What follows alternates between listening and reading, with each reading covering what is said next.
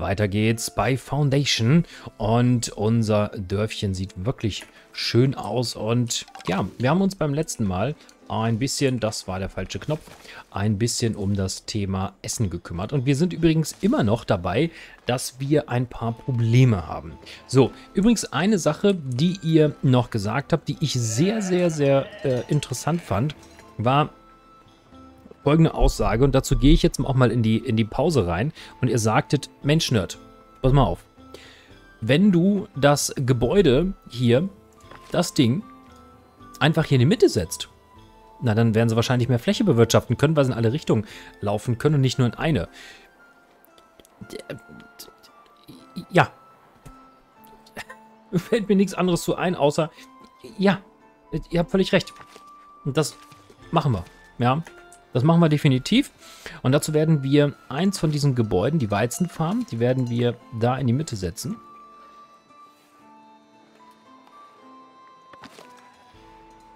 Einmal dahin.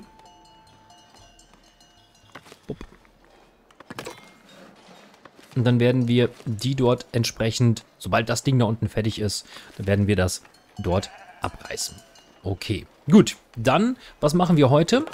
Wir haben jetzt erstmal genau diese Entscheidung hier zu treffen und müssen einmal gucken, wie es mit der Produktion weitergeht, was für Leute wir noch brauchen, wo wir noch was machen müssen. Wir sehen, unsere Stadt ist schon relativ groß, wir haben 128 Leute und wir müssen uns jetzt erstmal Gedanken machen, dass wir genügend ähm, Waren produzieren und unter anderem auch hier unten natürlich Beeren und Fische hm, und auch hier Beeren und Fische. Ja, und da gibt es dann jeweils vier Träger, die dann hier auch die Beeren und die, na, die dann hier Beeren und äh, Fische auch produzieren. Und auch hier oben gibt es dann, glaube ich, ein Lager. Da sind gar keine Beeren mehr drin. Aber hier gibt es doch... Da... Das macht jetzt... Hm, damit habe ich jetzt ein Problem. Da müssten Beeren rein. Denn da unten sind Beeren. Dass wir das zumindestens ja, das Wildschweinchen hier machen wir mal raus. Und da kommen Beeren rein. Und das Fleisch machen wir bitte dort rein. So, und ich möchte jetzt eigentlich auch keine weiteren Produktionsketten starten, solange wir die aktuellen Produktionsketten nicht stabil haben und dort irgendwo auch mal, irgendwo auch mal ein äh, Überschuss bewirtschaften. Ja, also da müssen wir jetzt wirklich mal gucken, dass wir das hinkriegen.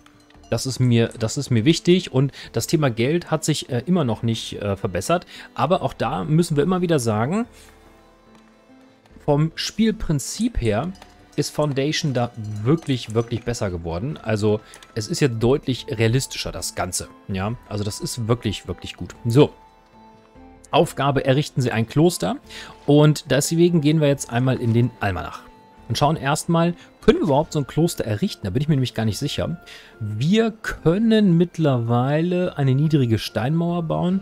Wir können ein Klösterchen bauen und ein Punktpaket. Das können wir uns auch freischalten, aber das bringt im Moment noch nichts, denn wir haben eh noch keine Möglichkeit. Ich muss echt meinen Rechner mal wegstellen. Der steht voll im Weg. Unglaublich. Entschuldigt bitte. Ähm, ich habe nämlich mein, mein äh, Arbeitszimmer umgeräumt, anderer Schreibtisch und so weiter und so fort. Und jetzt habe ich so in Trittrichtung quer meinen Rechner aufgestellt und ramm, ramm da jetzt einen den Fuß gegen. Und da muss ich nochmal ein bisschen umbauen. So. Und jetzt gehen wir erst nochmal hin und schauen uns nochmal die Gebäude an. Also die Berry, den Berry Brew, der ist pausiert, das passt. Das Holzfällerlager. Nur ein Holzfäller.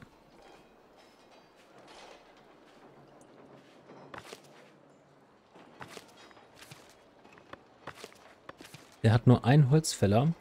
Ähm, da hinten... Der hat drei Holzfäller, aber der hat doch gar nichts mehr zu tun. Doch. Der hat auch was zu tun. Wir haben 44 Holz, 28 Bretter, 51 Haushaltswaren. Ach du grüne Neune. Ähm, Ja, wir können ja, wir können ja mal weitermachen. Wir wollen nicht anhalten. Also das sieht ja erstmal ganz gut aus. Haushaltswaren verkaufen wir dort schon. Dort nicht. Dann sollten wir dort noch einen Haushaltswarenstand machen, obwohl das eigentlich, eigentlich auch fast egal ist. Das müsste dort vorne eigentlich ausreichen. Aber dann können wir mal schauen, ob wir die vielleicht verkaufen. So. Ein Schmied. Ähm, Schmiede stellt Werkzeug aus Eisen her. Eisen haben wir genug Werkzeuge auch. Da könnten wir noch einen weiteren Bürger uns reinholen. Da sollten wir mal schauen, ob wir den Mandaten vielleicht wirklich die Möglichkeit haben, nochmal einen, einen Update zu verpassen. Hm, leider nicht, ne? Na, leider nicht. Da müssten wir uns vielleicht einen oder sagen wir mal zwei nochmal reinholen. Sodass wir dann ein paar Leute aufsteigen lassen können. Ein Schankwirt. Jetzt müssen wir mal in die Schenke gehen und gucken. Ja, das sieht von der Kapazität gut aus. Steinbruch. Steine haben wir eigentlich auch genug. Das ist auch kein Problem. Haushaltswaren ist auch kein Problem. Okay. Ja. Okay, also von der Produktion her ist das akzeptabel. Das kann so bleiben. Jetzt weiß ich nicht mehr, schauen. Arbeitslose sind bei 2. 80% vollständige Zufriedenheit. Das ist okay. Gut. Dann schauen wir noch einmal, ob wir eine Person vielleicht updaten können. Ich weiß halt nicht, wir könnten den Vogt updaten weiß nicht, der Vogt als, als Bürger, das finde ich halt auch ganz okay. Aber sinnlos einen Hunderter auszugeben, nee, wir warten, nee, wir warten erstmal. Wir warten, wir warten nochmal ab. Okay, gut. Und in der Zeit können wir uns nochmal unser wunderschönes Städtchen angucken. Ach Gott, ist das hübsch, ey. Ist das hübsch. Gut, also, wir können mal schauen beim Thema Handel. Hm, ob wir irgendwo Haushaltswaren verkaufen können. Auf von, oh, Tatsache. Uh, wir können die echt verticken für 8. Heidewitzka. 38. Ja, ran an den Speckmensch. Ein gemeiner. Ah, Mist. Wir haben nicht mal mehr Gemeine übrig. Ah, wir können auch nicht mal mehr einen Typen zu einem Gemein befördern. Okay, gut. Ist kein Problem. Und dann können wir aber im Almanach einmal äh, bitte beim Thema Haushaltswaren. Da brauchen wir nicht so viel. Da, sehen, da gehen wir mal auf 10 runter. Das sollte uns schon mal alles oberhalb der Stück zu verkaufen. Auf 10 bitte. Mhm. Da müssen wir ganz dringend dort die Produktion steigern. So, und ich möchte die Produktion eigentlich mit unseren beiden, mit unseren beiden neuen Gemeinen machen, beziehungsweise momentan sind es noch Leibeigene, aber die will ich gerne, will ich gerne zu Gemeinen ähm, updaten. Das wäre mir doch relativ wichtig. Immer noch nicht drin. Nun denn. Denn ist es so. Okay, gut. In der Zeit, wo es läuft, gehen wir nochmal und schauen uns die Steuern an. Ob wir dort noch was machen können. Aha, da sind wir schon relativ hoch mit dabei. Windmühlensteuern haben wir auch. Dann prüfen wir nochmal die Edikte, ob wir da was machen können. Und wir haben hier halt die Möglichkeit, ein neues Edikt zu erlassen.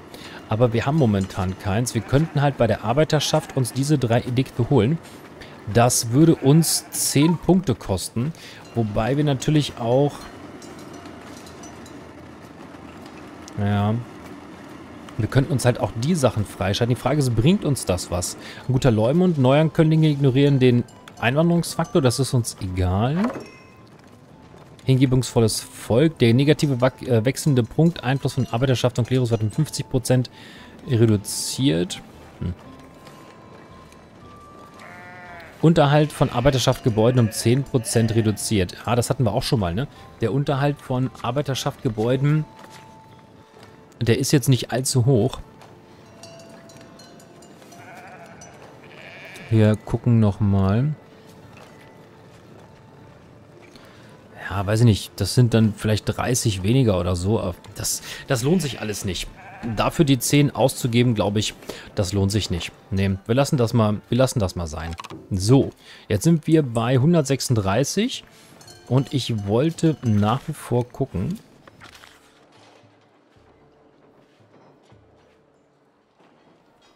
Wir hier irgendjemanden... Das ist der Wahnsinn. Wo sind die?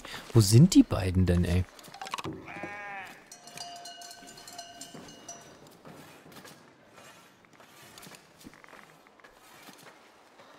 Wir haben zwei Bürger. Wir haben eine 83-prozentige Zufriedenheit. Ein Luxusgut fehlt. Kräuter, Schmuck. Aber Kräuter importieren wir, glaube ich, schon. Das gucken wir uns auch gleich nochmal an. Hm.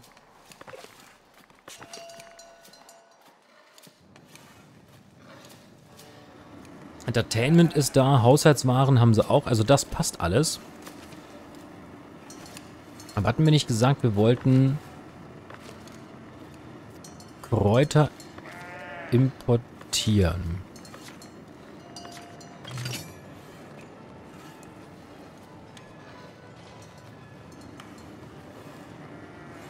Tja, es verkauft aber keiner Kräuter an uns. Doch, er. Für drei. Also das wäre möglich. Tja, dann müssen wir es auch sagen. Kaufen, bis das Inventar 10 erreicht hat. Das sollte hoffentlich ausreichen. Und dann schauen wir mal da unten. Mm, ja. Ich würde sagen, ein Luxusgutstand können wir gut hier in die Ecke packen. Das finde ich eigentlich, das finde ich eigentlich ganz, ganz schick, dass wir hier einmal einen Kräuterstand bauen. Nehmen wir uns einmal den hier vor. Und werden hier... Ah, den gibt es sogar schon. Ah, okay. Ich habe nur vergessen... Ah ja, okay. Ich habe nur vergessen, die Kräuter zu importieren. Na, das macht natürlich Sinn. Okay, gut. Das müsste er hier gewesen sein, ne? Genau. Ah gut, dann können wir weitermachen und uns erstmal um den Kurier bitten, der sich immer schön vor die Schnapsbrennerei stellt. Entschlüsselung der rätselhaften Steuer. Ihr habt erfahren, dass Davenport ein neues Besteuerungsgesetz für Handelsgüter eingeführt hat. Seine Details sind ein Rätsel, aber ihr wisst, dass es beträchtliche Profite abwirft, ohne den Handel zu beeinflussen. Wenn ihr es schafft, seine Geheimnisse zu lüften, könnt ihr eine solche Steuer eurem Dorf könnte eine solche Steuer in unserem Dorf von großem Nutzen sein. Tja. Hm, benötigt einen Vogt. 50% ähm, Davenport ahnt nichts. Neues Edikt freigeschaltet. Davenport hat die Intrige herausgefunden.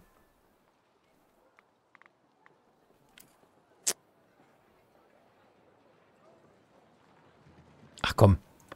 Wir werden das mal, wir werden den Vogt mal Oh, neue Steuer erlernt. Ei. Oh, da müssen wir mal reinschauen. Na, da bin ich ja mal, da bin ich ja mal gespannt. Ist das eigentlich noch offen? Ja. Keine Arbeit zugewiesen. Ja, ich will dich auch updaten. So, Weizenfarm ist auch gleich fertig. So, das ist das Thema. Wir müssen wirklich mal zu den Edikten gehen. ist das hier? Sache. Handelswarensteuer. Schaltet Handelswarensteuer für die Marktstände frei. Nein! Oh, endlich! Oh, mega! Das gibt's also tatsächlich noch. ähm, noch Gott sei Dank, ey. Das machen wir. Handelswarensteuern. Okay, jetzt bin ich ja mal gespannt, wie viel wir verdienen. Wenn wir das machen. Also das Thema Geld ist halt immer noch ein massives Problem bisher gewesen. So. Und jetzt bin ich echt mal gespannt, wie viel Kohle wir damit machen. Gelagerte Steuereinnahmen. Oh Gott sei Dank, jetzt machen wir endlich Geld mit Marktplätzen wieder. Ja, endlich. Oh. Das hat auch echt lang genug jetzt gedauert. Denn wir wollten natürlich noch eine ganze Menge mehr machen, aber wir sind immer blockiert vom Geld. Jetzt gehen wir nochmal in die Mandate rein. Und wo sind denn die beiden Neulinge? Wieso kann ich die denn immer noch nicht updaten? So, Beruf. Wir müssten zwei Arbeitslose haben, genau. Komfort. Ach, weil sie keine Unterkunft haben. Hm. Sollen sie sich doch ein Haus bauen? Oder haben sie hier keinen Platz mehr dafür? Wohngebiet. Das ist auch noch vorbei hier. Ah, dann kriegt sie hier noch ein bisschen, kriegen sie noch ein bisschen Platz hier hinten. So. Dann können sie sich da noch ein Haus bauen. Das muss einfach mal einer gesagt werden, dass die, dass die kein Haus haben. Also wirklich. Gut. Ja, gut, man könnte es eventuell ahnen, weil es äh, da steht, aber na gut. So, also das Thema haben wir auch. Dann wollen wir den bitte abreißen. Aber erstmal entlassen wir euch hier. Und dann werden wir dieses Gebäude bitte abreißen. So. Hier werden wir drei Bauern reinpacken. Und jetzt müssten wir noch zwei Arbeitslose haben. Genau. Und bitte Anbaufläche einzeichnen. Jetzt bin ich mal gespannt.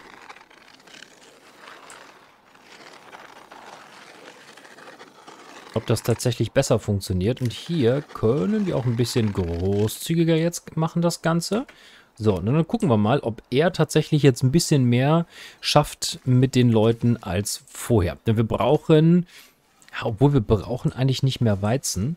Wie sieht es in der Bäckerei aus? Ah, wir haben noch genug Mehl und genug, genug Weizen. Okay, gut. Das sieht erstmal gut aus. Sehr schön. Dann gucken wir mal bei der Weberei. Das ist der Hammer, ne? Also kommen wir immer noch nicht auf den grünen Zweig.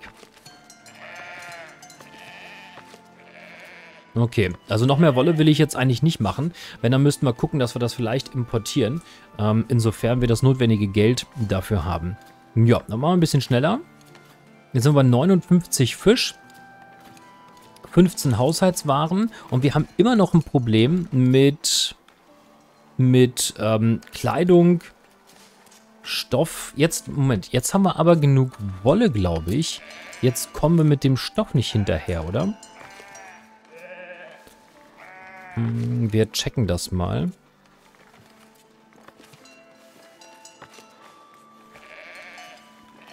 Ja, Stoff. Ist die Schneiderei. Ja, das ist, ich meine, ich weiß gar nicht, warum wir so viel Schneidereien haben. Der ist ja komplett überflüssig hier. Den können wir hier mal rausnehmen. Und Kroddeln kann einmal bitte seine Arbeit beenden. Mein lieber Kroddeln, das ist hier völlig, ist völlig sinnlos gerade, was du machst. Also es ist total lieb, dass du da stehst und versuchst etwas zu schneidern. Aber wenn wir keinen Stoff haben, dann brauchen wir auch, dann brauchen wir auch nicht schneidern. Das macht ja überhaupt keinen Sinn. So, das ist die Weberei. Der hat wirklich keine Wolle. Aber wo sind denn die... Wo ist denn das? Ach, da hinten.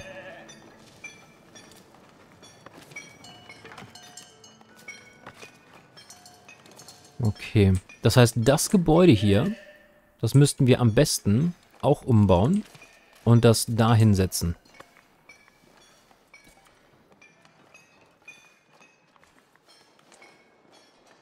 Okay, einmal dich bitte. Einmal dahin.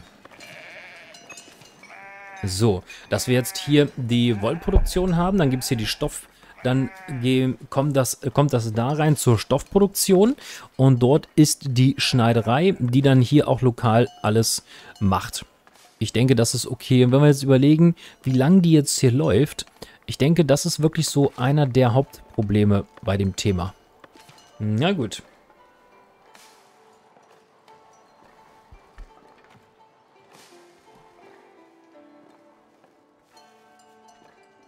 Okay. Das sieht gut aus. So, jetzt bin ich gespannt, wie weit er kommt. Haben die jetzt Arbeit? Hm, ja, können wir mal gucken. Und, oh, ihn können wir updaten. Zack. Und dann fehlt uns jetzt das Geld, aber wir haben zwei Arbeitslose. Sehr schön. Und die können wir jetzt ebenfalls updaten. Wir wollten ja die Produktion der Haushaltswaren hochfahren. Und dazu brauchen wir einen weiteren freien Bürger. So, weitere Neuankömmlinge brauchen wir im Moment eigentlich nicht. Hier unten. Nee. Brauchen wir nicht. Ist, ist, ist Quatsch. Können wir uns momentan ersparen. Haben wir hier genug Bier? 22 diese Woche verkauft. Ja, sieht auch gut aus. Ich denke, das, das, kann alles, das kann alles so bleiben. Ja gut. Jetzt müssen wir noch hoffen, dass wir in Zukunft genug Geld verdienen. Ähm, wie viel verdienen wir denn jetzt mit den Dingern hier? Müssen wir das hier noch separat aktivieren?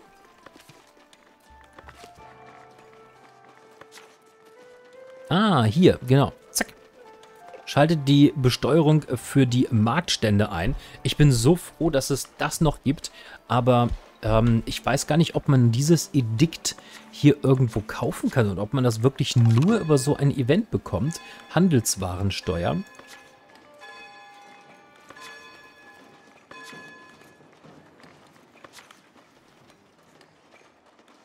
Also da nicht. Zusätzliche Steuer. Irgendeine Steuer ohne Strafe. Befestigtes Dorf. Also die Handelswarensteuer bekommen wir wirklich nicht. Überragend ist demnächst verfügbar. Das hiermit noch nicht.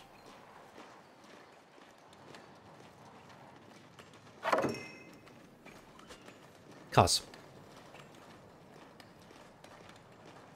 Ja gut. Aber das sieht doch schon mal, das sieht doch schon mal ganz gut aus. Und jetzt können wir uns mal die Sachen angucken. Baustil Steinernes Gutshaus. Steinhalle. Das will ich eigentlich auch nicht machen. Okay. Gut. So, wie sieht es hier aus? Oh ja, der ist fertig. Dann können wir dich hier... Die kommen raus, bitte. Ist die passiert? Ja. Dann können wir das bitte... Ne, die Schmiede nicht. Die Weberei bitte abreißen. Ja. Ähm, ne, wir lassen das erstmal. Wir lassen das erstmal durchlaufen. Weil ich meine, der hat ja noch. Er hat ja noch ein bisschen, bisschen Zeug hier. Und wir können hier die beiden Weber bitte mal einstellen. So. Jetzt haben wir minus 18. Jetzt können wir nicht mal mehr irgendwas kaufen. Aber wenigstens haben wir genug Beeren. Okay, ich hoffe, dass das jetzt auch ein bisschen was bringt beim Thema Produktivität. Und das in die Mitte zu bauen, hat tatsächlich erstaunlich wenig gebracht, muss ich sagen. Das hätte ich jetzt so gar nicht erwartet. Aber gut. Okay, wir werden sehen, wie sich das in Zukunft weiter erhält. Auf jeden Fall haben wir jetzt genug Beeren. Weizen auch nicht. Wir müssten, hätten wahrscheinlich wirklich noch eine weitere Weizenfarm gebraucht. Aber wir können das ja machen. Wir können ja den in diese Richtung weiterbauen lassen und bauen das im schlimmsten Fall, im schlimmsten Fall wieder auf. So, der ist fertig. Da müssen wir jetzt einmal den Stoff abholen. Und dann können wir das Ding auch abbeißen. Die sind dabei. Und da gibt es 30 Wolle. Aus irgendeinem mir völlig unerfindlichen Grund geht der da nicht dran.